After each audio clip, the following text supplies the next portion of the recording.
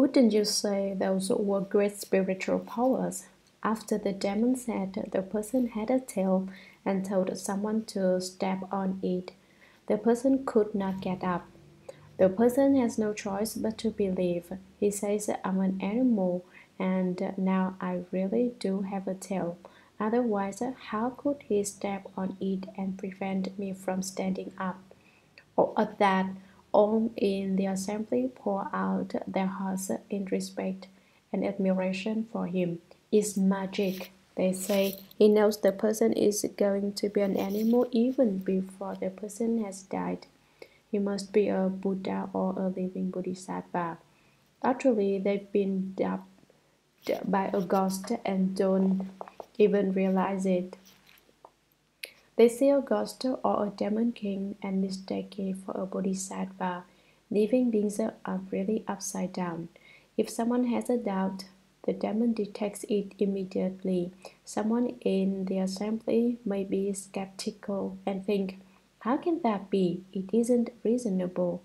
As soon as he starts to doubt, the demon knows it and says, So you don't believe me? These people take one look Oh, he's really a bodhisattva. I didn't say that was what was on my mind, and he knew about it. He exposed my doubt. That's incredible. After that, he doesn't dare to disbelieve. He establishes intense ascetic practices that exceed the Buddha's moral precepts. He says, The Buddha's Vinaya is not enough. I am establishing a new Vinaya for you. I want you to be new Buddhas and I'm creating a new Buddhism. The previous one is obsolete and inapplicable. This is the scientific era, the nuclear age, and everything must be modernized and improved. The old way of thinking is no longer useful. The old Buddhism cannot be applied to either. That is how he changes Buddhism. He says that people can be elders or bishops or anything they want. January 1983. There are old fashioned religions and trendy religions. No one believes in religions they consider old fashioned, but everyone traces madly after trendy things Uh, of all the Dharma spoken by the Buddha, the most important part is precepts. Nowadays, people consider the Buddha really old fashioned and they want to find something more up to date. Their search takes them fight into the Demon King's lair. None of the external sects are free from greed and desire. They are insatiable and they desire to benefit themselves at the expense of others. I cannot say that we at the city of 10,000 Buddhas are definitely in accord with the proper Dharma. Nevertheless, I ask each of you who has followed me so many years have I ever asked you to hand your wealth and property over to the temple? Why have I never done this? Because I'm very old fashioned. I want to uphold and honor the precepts. The precepts tell us to give to others, not to demand that others give to us why we don't give anything to them. At the city of 10,000 Buddhas, our revenue comes very naturally. We don't scheme for contributions. We receive enough income as it is. If we were to try to treat people of their money, how would we be any different from demons? People who tell others to donate their personal and family wealth and their own lives and their families' lives to the way place are totally misguided. I'm not like them.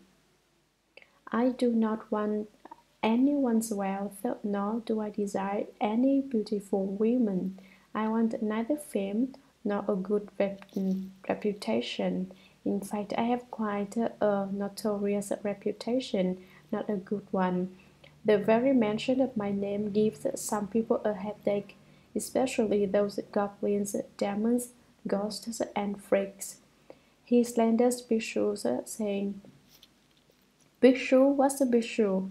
He makes fun of the name. He says, You say he's a Bhikshu? He's a badge. I say he's a badge. He also scolds his assembly of disciples. He scolds his disciples however he pleases. He may tell them, You're a dog, or you're a cat, or you're a rat, or you're a pig. The disciples hear his scolding, his scolding and accept whatever he says, thinking he's a bodhisattva. You say I'm a pig, so I'm a pig. You say I'm a dog, so I'm a dog. You say I'm a cat, so I'm a cat. They don't dare talk back. This demon king has such a tremendous power that he manages to delude people into believing everything he says. And he exposes people's private affairs. For instance, a man and woman may have done something indecent, and he will say to the woman, You did such and such with a certain man in a certain place. The woman thinks to herself, How did he know? or he may expose them in public, saying, These two are despicable. They did something improper, something unspeakable in such and such a place. Ask her about it, she wouldn't dare deny it. It turns out that they have in fact done it and they don't dare to deny it. He does this to show people that he has spiritual powers and that he knows everything that is going on. He exposes their private matters without fear of ridicule or rejection. He divulges people's secrets and is not afraid that they will scorn him. He is always fond of foretelling calamities and auspicious events. He likes to say things such as, You'd better be careful, tomorrow is going to be an unlucky day for you. Someone might try to poison you, so watch what you eat, or you may die of poisoning. He foretells both unlucky and lucky events, and when they come to pass, he's not wrong in the slightest. When the events happen, they turn out to be exactly as he predicted. So, how could people not believe in him? Such demon kings are far more efficacious than bodhisattvas.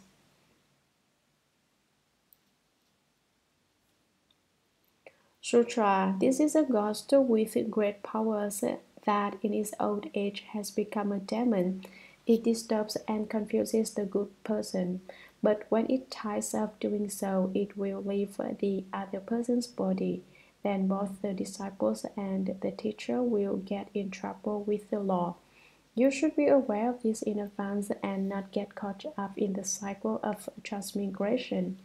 If you are confused and do not understand, you will fall into the relentless house. Commentary This is a ghost with great powers that its old age has become a demon.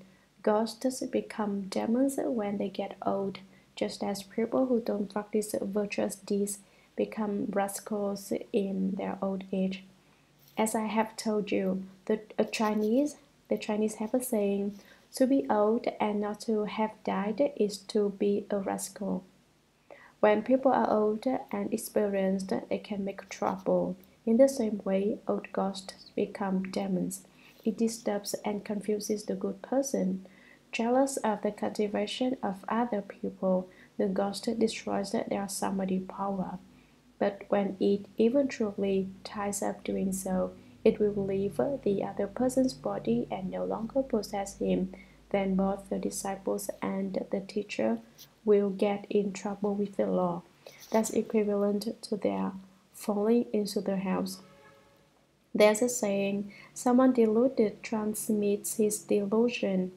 So after the transmit, uh, transmission, neither one understands. The teacher falls into their house, and the disciple burrows in after him. The same principle applies here. Because he hasn't met a teacher who truly understands, the disciple is also muddled. When he sees his teacher going to the house, he follows his teacher there. The teacher turns around and says, What did you come here for? The disciple replies, I saw you coming here, so of course I came along. The teacher says, Oh no, this isn't a good place. You shouldn't have come. But you came first. You could. How could I not have followed you? I study with you after all. I should go wherever you go, says the disciple. The teacher thinks, Ah, I've landed in the house myself and brought my disciple with, a, with me as well. I've really done wrong by you. I'm very sorry. You should be aware of this in advance and not get caught up in the cycle of transmigration. If you are confused and do not understand, you will fall, fall into the relentless house. Sutra further in the unhindered clarity and wonder that ensues after the feeling skandha is gone. This good person is untroubled by any devil mental state and experiences perfect bright concentration. Within samadhi, his mind craves more knowledge and understanding, so he diligently toils at examining and probing as he greedily seeks to know past lives. Commentary Further, in the unhindered clarity and wonder that ensues after the feeling skandha is gone, this good person is untroubled by any deviant mental state and experiences perfect bright concentration. Within samadhi, his mind craves more knowledge and understanding, while in samadhi, he wants to know more things and to have the knowledge of past lives he works with intense vigor and does not fear suffering. So he diligently toils at examining and probing as he greedily seeks to know past lives. Sutra. At that time, a demon from the heaven seizes the opportunity it has been waiting for. Its spirit possesses another person and uses him as a mouthpiece to expound the sutras and the Dharma. This person, unaware that he is possessed by a demon, claims he has reached unsurpassed nirvana. When he comes to see that good person who seeks knowledge, he arranges a seat and speaks the Dharma. Commentary that time, a demon from the heavens seizes the opportunity it has been waiting for. Its spirit possesses another person and uses him as a mouthpiece to expound the sutras and the Dharma. This person, unaware that he is possessed by a demon, not realizing that he's been taken over by a demon, claims he has reached unsurpassed nirvana. When he comes to see that good person who seeks knowledge, he arranges a seat and speaks the Dharma. Sutra, there in the Dharma assembly, inexplicably that person may obtain an enormous precious pearl. The demon may sometimes change it into an animal that holds the pearl or other jewels, bamboos, tablets, tongues, talismans, letters, and other unusual things in its mouth. The demon first gives the objects to the person and afterwards possesses him.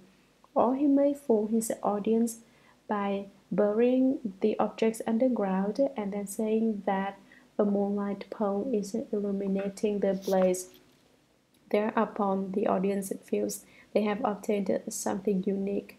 He may eat only medicinal herbs and not take and not partake of prepared food.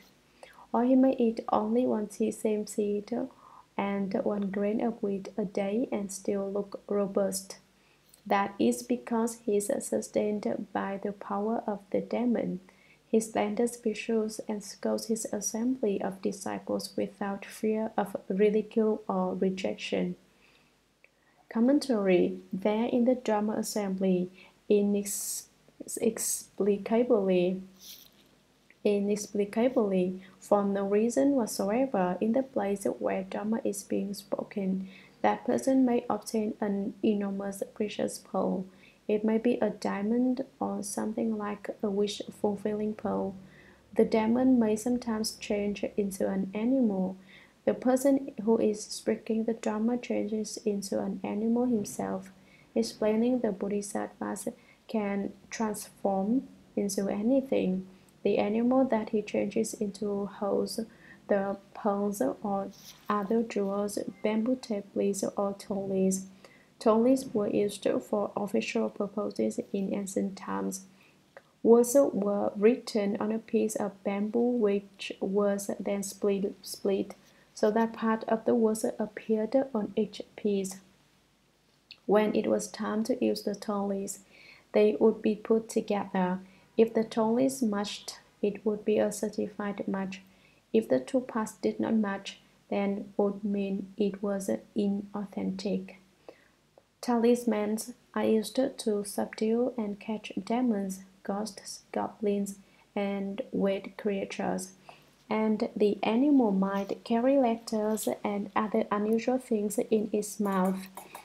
All of these are strange, rare, and valuable objects. The demon first gives the objects to the person and afterwards possesses him.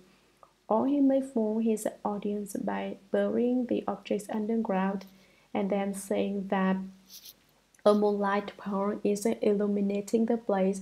He buries, buries the pearl in the ground and then tricks his listeners, telling them, There's a pearl which resembles the bright moon emitting light there.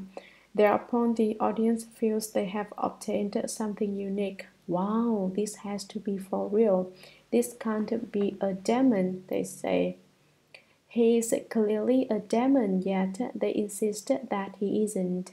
Alas for those who listen to his Dharma. He may eat only medicinal herbs and not partake of prepared food. The demon often eats only herbs, not regular food. He doesn't eat good food. He may eat ginseng or other tonics and nourishing supplements.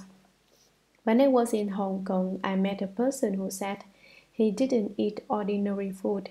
He acted as a medium for people who sought long life, sons, blessings, or other things.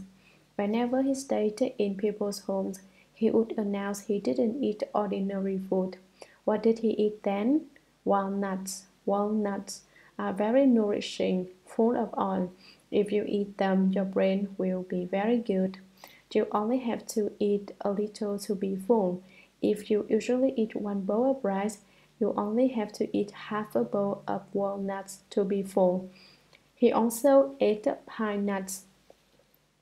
At any rate, he ate the most nutritious items, or he may eat only one sesame seed or one grain of wheat a day and still look robust. Even so, he stays really fat, fatter than a pig. That is because he is sustained by the power of the demon. He stands Bhikshus and scolds his assembly of disciples without fear of ridicule or rejection. He does not he does nothing but slander those who have left the home life. Left home, left home pupil, what home did they leave? They don't cultivate at all. Left home pupil aren't greedy for money. The more the better is their attitude. Or he says, Why do people believe in him? He's just a person after all. You're really an idiot. When people have faith in the bishops, he calls them idiots. He scolds his own disciples, calling them animals and all sorts of things. He's totally unafraid of any rebuttals. May 1989 Disciple When he comes to see that good person who seeks knowledge, he arranges a seat and speaks the Dharma. Venerable Master, this means the demon. It goes to see the person who seeks knowledge of past lives. Disciple There in the Dharma assembly, inexplicably, that person may obtain an enormous precious pearl the demon may sometimes change into an animal. Is this another demon? Venerable Master, no, it's the same one. Disciple, does the person possessed by the demon transform into an animal? Venerable Master, yes, to everyone he appears to be an animal. He takes on a bizarre appearance. First, the demon gives them to the person and afterwards possesses him. The person is the one who seeks knowledge of past lives. Disciple, the person who seeks knowledge of past lives is already possessed by a demon and has changed into an animal, and he's also holding the pole of and other gems in his mouth. Venerable Master, he gives them to the pupil while listening to the Dharma. It isn't just one person. Perhaps he selects one among them. This is all hypothetical. It doesn't necessarily have to happen that way. Don't think that it has to be that way just because the Buddha said it. This is an example, and you should be able to understand their situation, understand other situations by inference. Don't be so rigid. Be flexible in your understanding so that the next time such a situation occurs, you'll know, oh, this is the same as that example. Here he turns into an animal, but in another case, he might turn into a Buddha. Disciple, what about when it afterwards possesses him?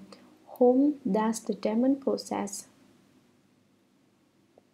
Venerable Master, the demon possesses everyone. Disciple, are there other demons that come to possess everyone? Venerable Master, no, the same per- the same demon can have uh, innumerable transformation bodies. It can possess that person as well as other pupil, disciple. So it jumps around from one to the other. Venerable Master, it doesn't jump. It isn't just one. It can transform into many. Disciple, oh, so it can possess you and it can also possess someone else. I never knew demons were so powerful.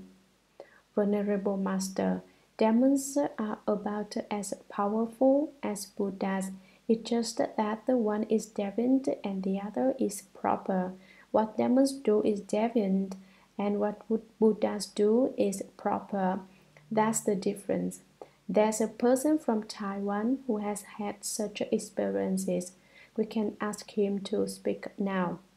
To the layman, tell everyone everyone the whole story about how the demon transmitted the mind Dharma to you.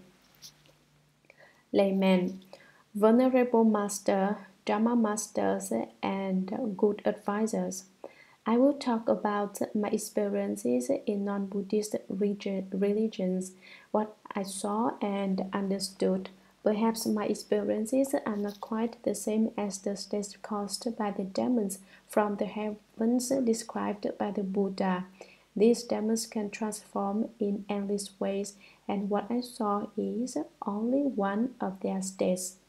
As I share my experience, keep in mind that it is not the whole picture.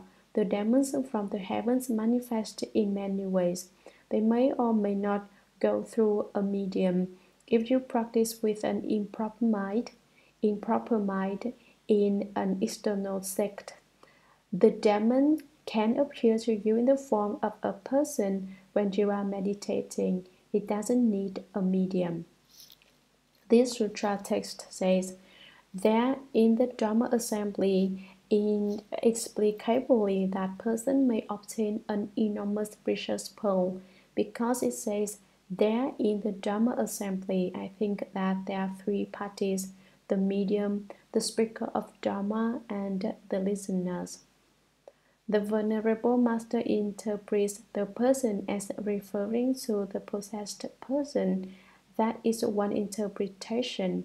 However, from what I understand and from the other explanations that I've read, I think the person refers to someone who hasn't been possessed yet. Why? Because the Buddha spoke the Shurangama Sutra in order to warn those who are not yet possessed, but those who but whose minds have already gone astray.